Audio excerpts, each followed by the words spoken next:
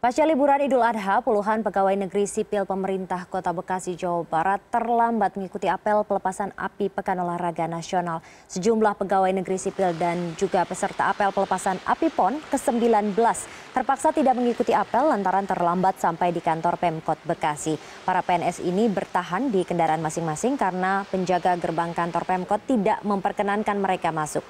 Para pegawai yang terlambat ini berdalih terjebak kemacetan.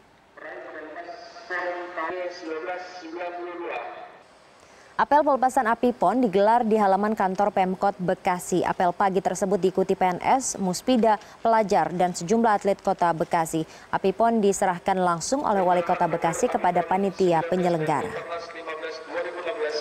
Enggak, aku kan di UPTD, bukan kerja di sini.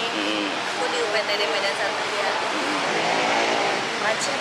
Oh, bukan habis pulang kampung.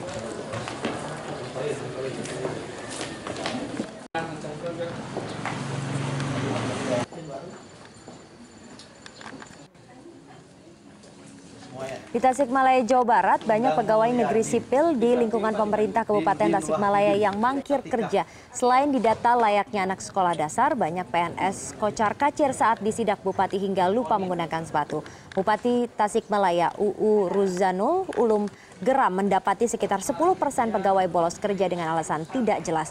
Bahkan kepala dinas yang bersangkutan juga tidak tampak hadir saat sidak Bupati. Selain sanksi tertulis PNS yang berulang kali bolos terancam dipecat. Mereka yang tidak hadir kali ini sudah tidak ada lagi maaf bagimu, maka akan diberikan sanksi. Minimal hari ini adalah teguran tertulis dari kami dan kami akan melihat daftar absen apakah orang-orang yang ini sudah biasa tidak hadir atau memang cuma hari ini saja. Kalau memang sudah biasa tidak hadir, kami akan menggunakan teguran yang lebih berat lagi.